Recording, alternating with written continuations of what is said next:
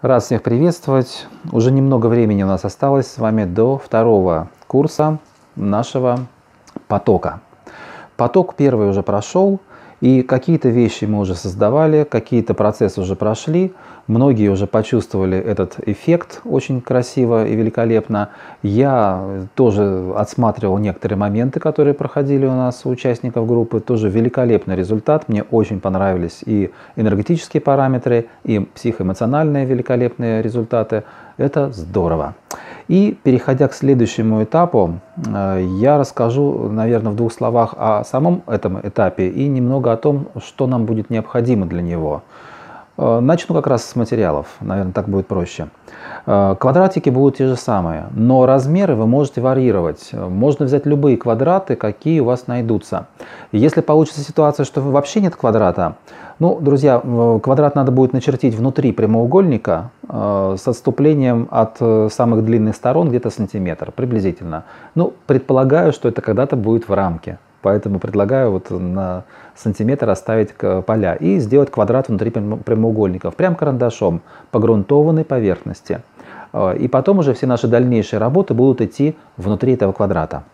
Снаружи можно сделать что угодно. Конечно же, в этой работе нам нужен будет еще один инструмент, который пока не был нам необходим, но теперь будет не нужен. Это линейка и циркуль в первую очередь. Линейка постольку поскольку может быть заменена любым прямым предметом. Это любой, даже сгиб плотной бумаги подойдет. А вот э, циркуль, пожалуй, незаменимая вещь. Э, единственный, наверное, хороший момент э, новостной, то, что у нас все-таки формат был небольшого размера, и нам нужен тот циркуль, который от вашего центра дойдет до края вашего квадратика. Ну и, соответственно, у кого квадратики будут большего размера, там, соответственно, уже и квадратик меняется тоже. Это тоже такой вот подспорье будет хорошее. Все остальное точно так же. Нам нужен будет карандаш, краски, кисти акриловые, там для тряпочки для того, чтобы вытирать кисточки периодически. Это все само собой. Э, лучше работать акрилом. Конечно, отдельно я бы сказал, кто будет работать на бумаге. Э, по возможности я бы советовал максимально плотную бумагу. Это может быть картон, это может быть какой-то, может быть, типографский картон найдется. Только не гофра, гофру не надо. Э, уж лучше тогда чертежный ватман. Э, на самый крайний вариант тоже подойдет. Но имейте в виду, друзья, может быть ситуация такова, что э, ваша работа будет слишком интересна, и вам ну, будет досадно, что она сделана на бумаге. И вот в этом плане, может быть, и есть смысл какие-то сделать все-таки ну, поправки на более серьезный материал. Ну, хотя бы картон более плотного, э, скажем так, более высокой плотности. Чем там на 300, на 400 плотности э, грамм. Ну, это уже как э, по, по нюансам. Конечно, идеалом будет холст на картоне. Это идеал. Идеалом будет э, любой пресс-картон. Тоже великолепно. Загрунтованный пресс-картон. То, что вот у меня было в основах, это как раз э, листочки арголита ДВП, он же он же прессованный картон, гладкий с двух сторон, можно шершавый с одной стороны. Это уже нюансы.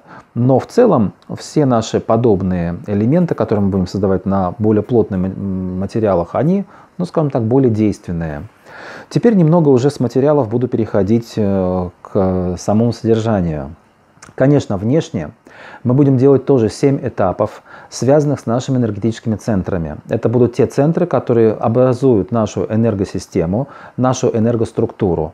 И как раз вот те потоки, которыми управляют эти центры, мы тоже будем на них наше внимание направлять. Через краски, через простые практики, в которых мы не будем э, зависать в каких-то серьезных медитациях. Это будут очень практические, очень короткие, но очень действенные механизмы, включающие наше и ментальное тело, и наше образное ощущение. Э, практически два наших вот этих вот то, что обзывается словом полушариями, э, и образное, и логическое. Мы будем применять эти вещи, конечно, но здесь именно смысл больше в том, чтобы наше внимание направить на тот внутренний космос, который образуется у нас вот этими семьюмя уровнями нашей энергетики. Семь вот этих галактик, можно их так назвать. Семь галактических э, таких, э, то, что называется словом чакра, э, именно вот это вот образование, которое такое же, как во Вселенной, оно также в нашем теле.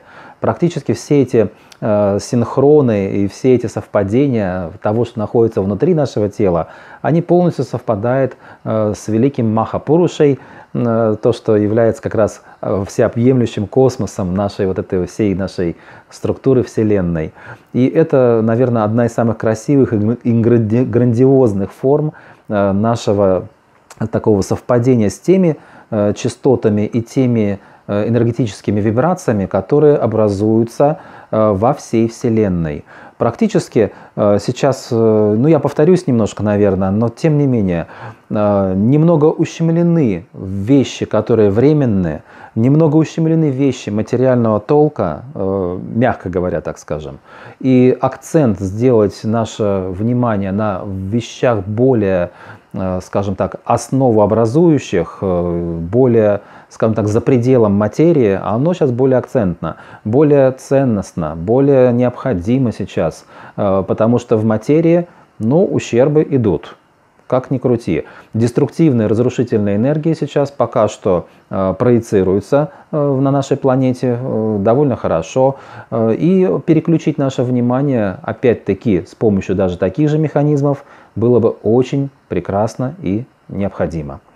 Поэтому в этой работе, в этом курсе мы будем как раз вновь э, погружаться уже в более детальное э, визуализирование этих центров. Это раз – Второй момент. Мы будем создавать на каждый этот центр э, по одной из древних технологий э, янтро именно этого центра. У каждого из этих центров, этих наших семи галактик, образующих нашу энергосистему, есть своя янтра.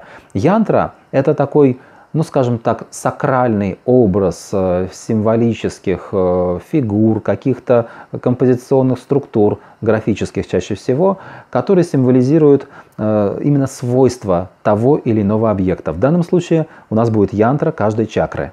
Мы будем создавать чакру на каждую вот практически в нашу вот эту работу, которая будет воплощаться вот в наших структурах уже, скажем так, в виде картин, именно накладывая на них ядро этого центра. И э, работа наша дальнейшая будет идти еще и с распаковкой символов, которые будут заложены в эту ядро. У нас их будет семь.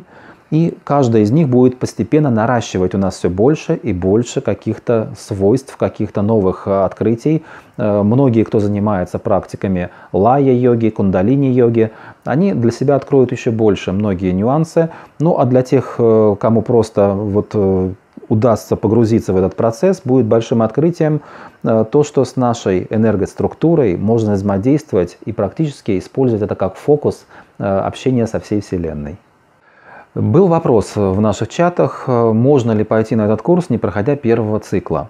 Друзья, циклы не связаны между собой. У кого есть возможность такая, что пройдя второй, например, цикл, вернуться к первому, можно сделать так. Можно только вторым циклом обойтись и получить э, практики более расширенного уровня. И они никак не будут э, в каком-то диссонансе находиться от того, что вы не прошли какой-то первый цикл. Здесь все равно первый цикл своя работа, шла. Э, здесь все-таки у нас дальнейшая работа уже идет другая совсем. И она э, единственное, чем созвучна, то, что мы тоже будем проходить 7 центров. 7 наших центров. По 7 центрам идет воздействие, по 7 центрам идет видоизменение нашей структуры энергетической. И на мой личный взгляд, на мое личное видение, именно эти центры сейчас нужно э, где-то и подкачать, немножко дать им возможность разгрузиться от тех стрессовых каких-то искажений энергетических, которые слишком э, долго э, не очень полезны. Ну, а вот об этом мы говорили и на наших встречах, которые были в свободном доступе. О лакировке я, конечно, сейчас некоторые вещи вам даже покажу. Вы сами все увидите. Э, лакировка с бумагой э, делает хорошее преобразование. Бумага становится более крепкая, как минимум, но и сочность. Сочность красок, друзья, вот посмотрите сами.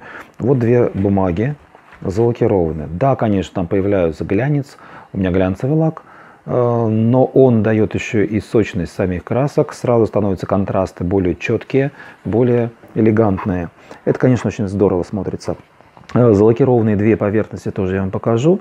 Тут полуматовый эффект получился такой, тоже краски стали более сочные. Ну и чтобы не быть голословным, я покажу это сразу в практике, как это происходит, чтобы вы это увидели.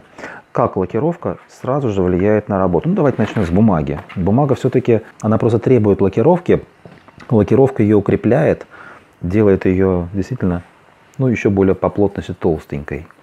Утолщает, скажем так, слой. Даже если это микромиллиметры какие-то, тем не менее.